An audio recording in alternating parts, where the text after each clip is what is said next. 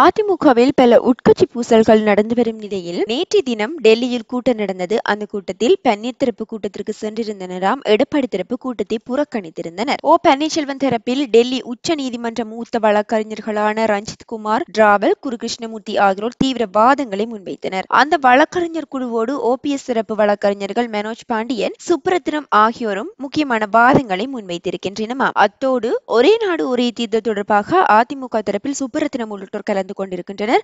அது மட்டுமல்லாமல் இன்று எம்ஜிஆர் பிறந்த நாளை முன்னிட்டு புதுடெல்லி நாடாளுமன்ற வளாகத்தில் அமைந்துள்ள அவரது சிலைக்கு மாநிலங்களவை உறுப்பினர்களாக தர்மர் தேர்தல் பிரிவு செயலாளரான சுப்ரத்தினம் ஆகியோர் மரியாதை செலுத்தவும் இருக்கின்றனராம். இப்படி தமிழக டெல்லியை பொறுத்தவரை மூத்த நிர்வாகிகள் முகாமிட்டு அதிரடி நகர்வுகளை மேற்கொண்டு வருகின்றனர். அத்துடன் நேற்றையின் கூட்டத்திற்கு பிறகு அதிமுக தொடர்பான வழக்கையும் இவர்கள் கவனித்து வருவது குறிப்பிடத்தக்கது. விரைவில் அதிமுக பொதுக்குழு தொடர்பான வழக்கின் தீர்ப்பு வெளியாகும் என எதிர்பார்க்கப்படும் நிலையில் ஓ ஓபிஎஸ் தரப்பு தீவிரமான நகர்வுகளை மேற்கொண்டு வருகின்றது. இந்த தகவலை தெரிந்து கொண்டுள்ள எடப்பாடி பழனிசாமி இன்னும் தீவிரமாக ஒருபடி மேலாக தீவிரம் காட்டி வருகின்றனர். அதாவது தங்கள் தரப்பை சேர்ந்த சில முக்கிய நிர்வாகிகளை டெல்லிக்கு அனுப்ப திட்டமிட்டிருப்பதாகவும் தகவல் வெளியாகி இருக்கின்றது. நேர்களே வெகு சீக்கிரத்தில் எடப்பாடி தரப்பு நிர்வாகிகள் பலர் டெல்லியில் இறங்க இருக்கின்றனர். இவ்வாறு பன்னீருக்கு எதிராக எடப்பாடி தங்களது டீமை இறக்குவது குறித்த உங்கள் கருத்துக்களை கமெண்ட்ஸ் வாயிலாக தெரிவிக்கலாம்.